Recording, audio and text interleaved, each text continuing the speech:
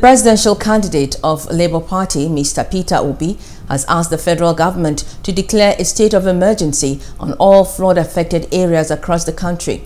At a visit to flood victims in Ibi local government area of Taraba State, the presidential hopeful also urged the government to adopt global best practices of desilting all waters to avert a recurrence of this year's flood that wreaked havoc across the nation.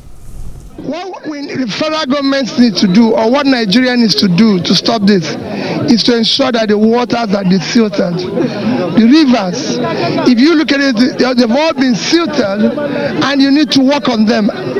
This is easy. It's all over the world, and it is because it's silted, it can no longer hold water, can no longer hold anything. So you need to do it. Contracts and contracts have been awarded for this, and it's not been executed. What Taraba State government is doing is to see how we can help these people so that uh, those of them that have uh, that their houses were destroyed will help them to see that uh, they rebuild their houses.